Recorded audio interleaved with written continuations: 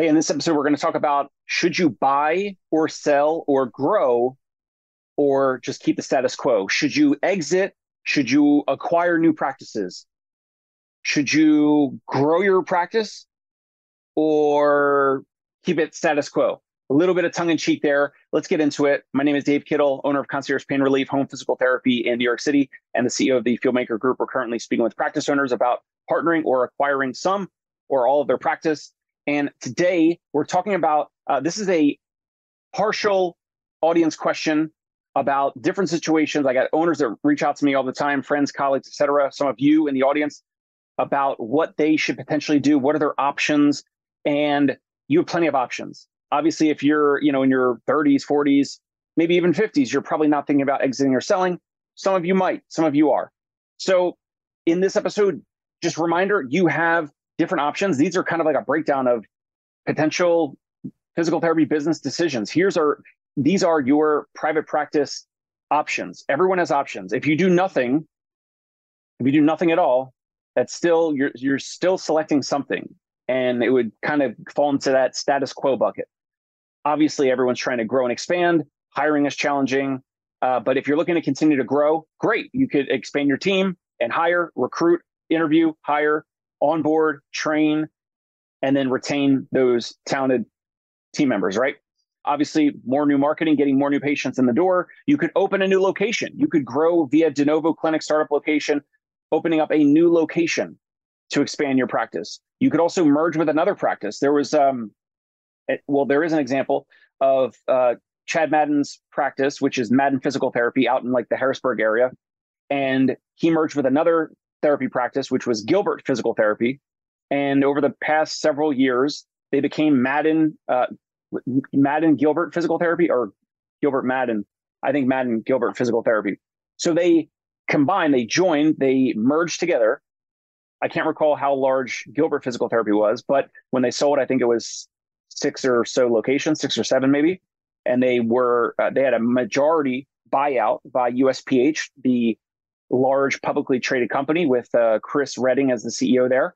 And a lot of this is documented publicly on Chad's podcast.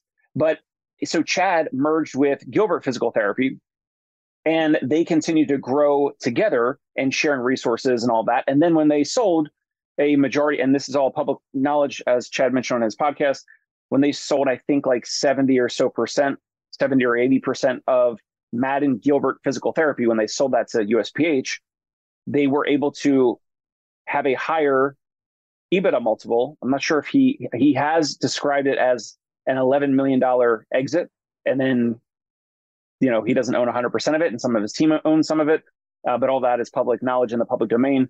And then I think the partnership was 70 or 80%. So he, so Chad and uh, I think it, I'm not sure if it's Greg Gilbert, but anyway, his his business partner, they still own some minority but meaningful equity in the practice, and they're partner now with USPH. So that's a way to grow incrementally with merging your practice with another.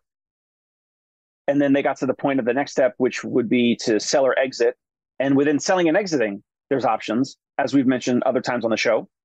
You could exit 60 or 70% and then keep a big chunk.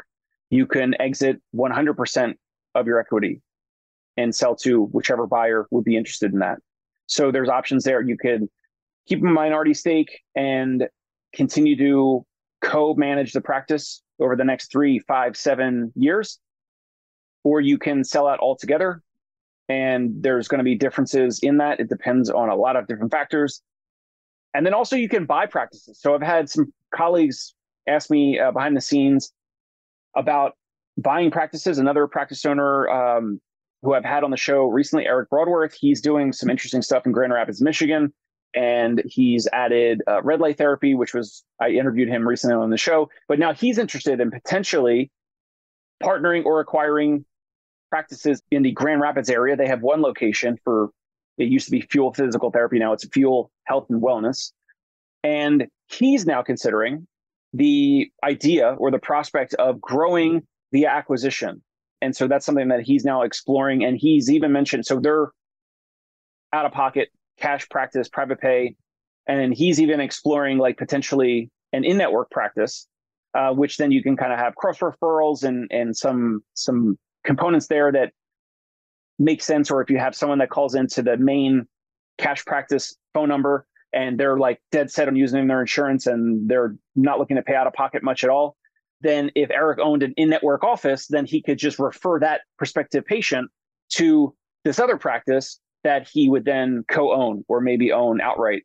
And so that individual, that prospective patient, doesn't leave the bucket completely. They kind of get passed over to another practice potentially, right? So that's that's something that I've been hearing from some of my colleagues, which are this question around, you know, should I open a, another location? Should I buy local competitors nearby? Should I look to partner with them?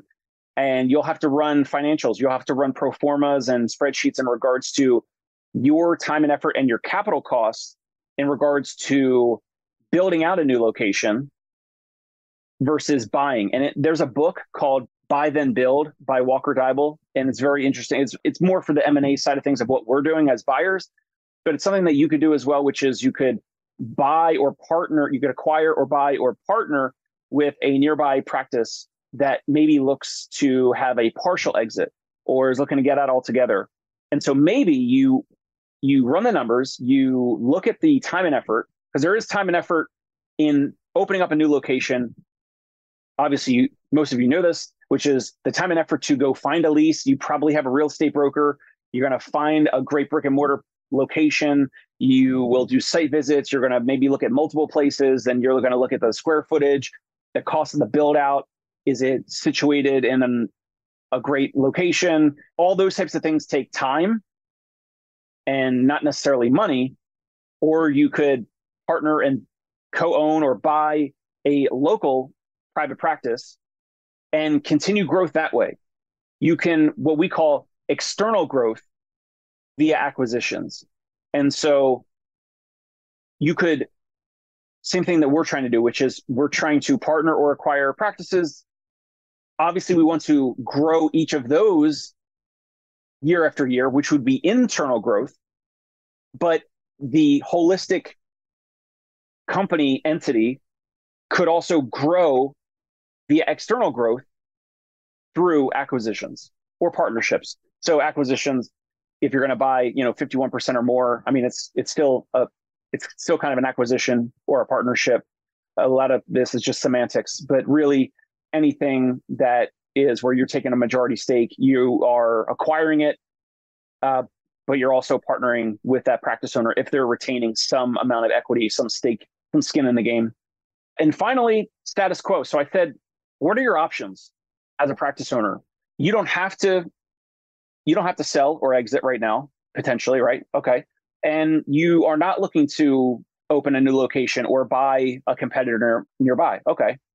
And I know most, I mean, every practice owner wants to grow but that takes time and effort and it's challenging out there right it's it's challenging with recruiting and hiring everyone mentions it and dpts are coming out of school with a lot of student loan debt and they're requesting and demanding competitive compensation packages and that's just the nature of our situation right now so you all are intending to grow but are you everyone wants to grow but are you doing things right now to make that possible, to make that happen? Or are you treating more patients and not working on the business, but you're working in the business? Are you working in the practice and not on the practice? Those are some of the challenges that I've seen where practice owners may find themselves at status quo. And respectfully, without mentioning any names or anything like that, but respectfully, even seeing practice owners' financials before 2019, a lot of practices will have or have had very similar revenue numbers before COVID for call it 2017, 2018, 2019.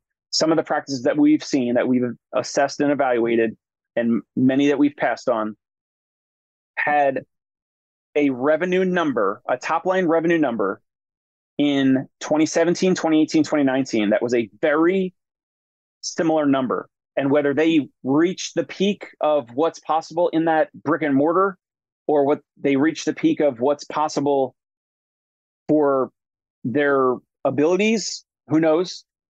But a lot of those practices that we've seen they did amazing work over the past 10 15 maybe 20 years to scale to grow a team to get referral partners to refer patients to them to get patients to continue to come back. They've done amazing work amazing. No one can deny your patient experience your patient care your compassion your results your outcomes. No one can no one can deny that. But if your revenue and this is pre-covid because i know covid threw a curveball threw a wrench in all this but look back look back in your financials. I'm just curious like you could do some self-reflection. Look at your financials. What was your revenue what was your revenue number in 2016 2017 2018 2019 and if it's not going up and to the right meaning a positive trend line you got to ask yourself why. And you know as we get further out of covid from 2020 and it was you know a lot of fear doubt and uncertainty. And then it's been better ever since then in 2021 with the omicron variant. And now we're at you know 2022 we're further out of like the craziness and the uncertainty and you know vaccines uh, all this other stuff now kind of in the mix. And so now 2023 what is your what is your revenue trend right now compared to this time last year in 2022. Those are the types of things that I would look at if I were, and I am a practice owner, but if I were a practice owner that's been in practice for 10, 15, 20 plus years. And so these are the, these are business decisions and not making a business decision about selling it or exiting or buying practices or growing by expanding your team and doing more marketing and and hiring. If you don't do any of that type of stuff, you're still making a decision. And I'm telling you respectfully that that decision is most likely status quo. By not doing anything at all, you are potentially shrinking your business. I've heard somewhere online, maybe Gary Vee said it or something like that. You're either expanding or shrinking. It's kind of scary to think about. Maybe there's a third, you know, a third would be like you're plateaued. But as costs increase every year and payment reimbursement is staying the same, operational costs, rent increases, inflation, taxes, interest rates have increased. That puts a lot of, you know, that puts a change on the available working lines of capital and credit and so much other things that can affect your business. Interest rates can affect a whole lot of things. They can even affect insurance companies. So the ones that are paying and reimbursing for a lot of your services, if not all. So by not choosing to grow, if you're looking to just kind of continue as it is, I don't want to say you're playing it safe because you've done amazing. You you've took a lot of risk. You stuck your neck out there. You've been an entrepreneur. You've been a business owner. And if the wind is coming out of your sail, if the wind's out of your sail because of COVID or overwhelm or frustration or admin, paperwork, insurance, reimbursement, hiring, uh, whatever, DPT is asking for too much money, whatever it is. I think respectfully that if you're not picking one of these levers, if you're not going for growth and you're not looking to buy local practices nearby or partner with them or merge with them, and you're not looking to exit or sell, then that fourth component would be status quo, I believe, respectfully. Let me know what you think. That's it for now. But this is, in a way, answering some recent audience questions. If you have questions, send me questions. Email me, find me on LinkedIn. My email is at the end of the episode here. Subscribe to the Dave Kittle Show on YouTube, iTunes, and Spotify. Send me some questions because sometimes these questions are relevant. I will leave your name out of it, no problem. But oftentimes, these types of questions will help spur my thought process and make an episode for you. And by you, then it helps other practice owners, not just you. So take that for what it is. Subscribe to the Dave Kittle Show on those platforms. We'll catch you next time here on the show. And that's it for now. Thank you. Hey, it's Dave Kittle. Are you a healthcare business owner or physical therapy practice owner who is looking to figure out your succession plan or exit strategy? We might be able to help. And in fact, we may be interested in acquiring your practice. If you're interested, you can reach out to me. Shoot me an email at dave at conciergepainrelief.com. That's D A V E at C O N C I E R G E, painrelief.com, or you can call me at any time, 646 781 8884.